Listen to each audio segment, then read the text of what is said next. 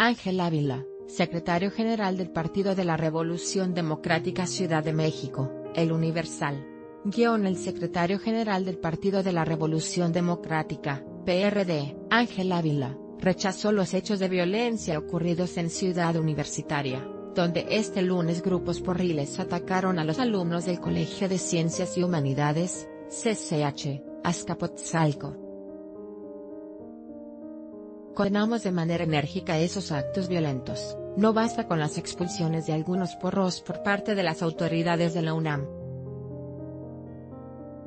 Los responsables deben ser castigados y enjuiciados como delincuentes, expresó Ávila a través de un comunicado. El PRD también solicitó a las autoridades llegar a fondo del asunto para que los autores intelectuales de los ataques también sean aprendidos.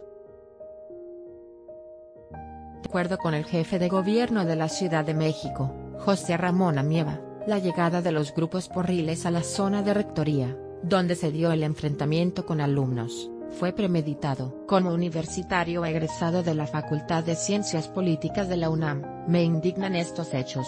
Las autoridades universitarias deben apoyar a los jóvenes hospitalizados y también deben asumir su responsabilidad política, subrayó Ávila. Snow.